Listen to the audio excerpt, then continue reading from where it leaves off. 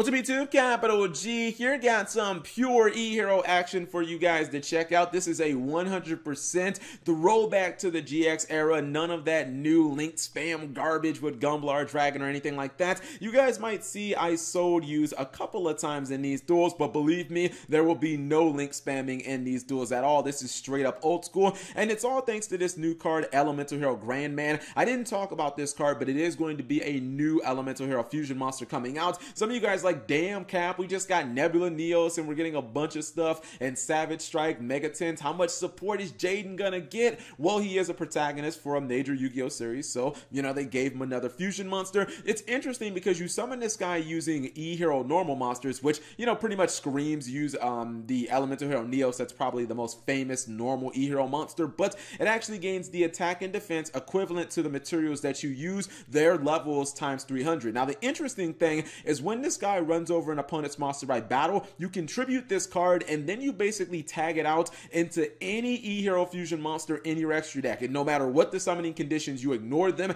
and you can summon anything. So all of those like really, really difficult ones to summon, you can get all of them on the field. And that's actually kind of cool. It's the entire reason really to run the card. So first duel is against Speedroids and he has a hero lives, does not use it by the way. He says, you know what, Cap? I think in 2018 I felt pretty comfortable with Stratos Pass, and shockingly enough, he's not gonna get OTK'd, which I kind of expected. I'm like, oh wait, you're just gonna do Stratos Pass in 2018 and you expect that to work? He's like, yep, I got the heart of the cards, baby. So his opponent is uh, he's gonna summon a Speedroid Link monster. He is locked into synchro summoning at this point, so that's why you don't see any Borrelsword dragons or anything like that. Borrelsword Dragon could have completely played around Stratos gaining that attack. Not sure why he attacked and It was a mistake, and he's going to pay for that mistake. He is going to poly into Grandman. He's going to run over Terrortop, and now he's able to go into Nebula Neos, and that's pretty cool because not only is he able to draw, he's able to get rid of basically his opponent's entire board. Now, he does have to banish everything face down, so his opponent has the soul charge, but look at them life points, though. I mean, anytime I'm under 4,000, I'm a little hesitant to use soul charge because you know you're going to be putting your yourself in the danger zone. He is going to go for the Speedroid Link once again.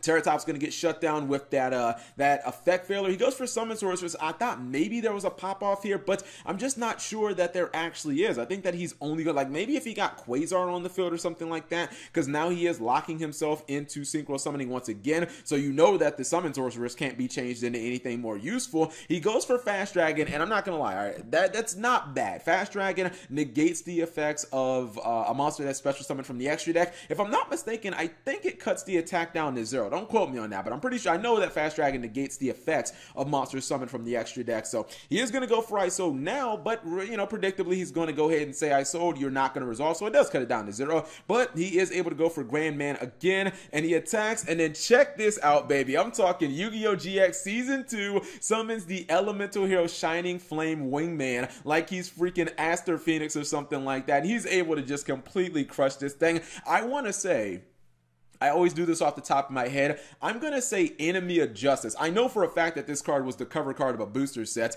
I want to say that it's Enemy of Justice, and I always thought that that didn't make sense. Although maybe that was Shining Enforcer that I'm mixing up. I don't know. But I'm pretty sure that uh, Shining Flame Wingman was a booster set or was the cover card of a booster set. But yeah, you don't usually see that every single day, and uh, he uses that to actually win the duel. If I'm not mistaken, this is the card that, um, this is definitely the card that uh, Aster used to to defeat Zane in their uh, televised duel. He ended up using it to um to wreck a Cyber and Dragon, if I'm not mistaken. Second duel is going to be against Fire Fist. Now, the Fire Fist guy, I think, was drunk because once again he just goes Stratos Pass and he just searches Honest Neil. This guy is he is redefining the meta, guys. He's like, look, you don't need hand traps. You don't need to spam with Gumblar. You just go, you go, you go Stratos Pass and you just win the duel. Seriously, he has done Stratos Pass and back-to-back duels. Now, I thought that this guy should have figured out some type of way to get more monsters on the board. And don't get me wrong, I'm a big fan of like I am a really big fan of going for um, you know, dragon, but I don't know, I feel like you gotta go for your link monster early with Fire Fist. That's the entire point, man. Bounce your cards,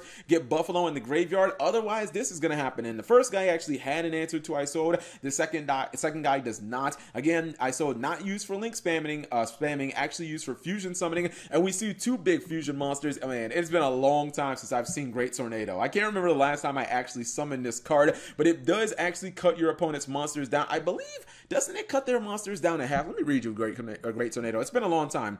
Uh, have uh, the attack and defensive all face up. Yeah, that's what I thought. Great tornado cuts your opponent's monsters in half, and he's able to get it on the field by using Stratos. See, the reason that I forgot about Great Tornado is because it's been the no one ran this card anymore because after Stratos got banned, there was no win attribute hero monster to use. So you know, people were like, all right, well, can't use Great Tornado anymore. But now that Stratos is back, you can use the card again Sorry, dude, that Tensen is not going to save you because you only got one monster on the board and he still has this guy at 3000 attack. I think that this card is generally not going to come out at 3000 attack if you don't use like the regular Neos, but in these duels, he was able to crank this baby out a couple of times and, you know, he was able to have some really good results. So these are just some nice little simple duels that show you that Stratos Pass in 2019, guys, it is 100% the meta. These duels confirmed it. No Kappa. We'll, we'll actually put a Kappa at the end of that.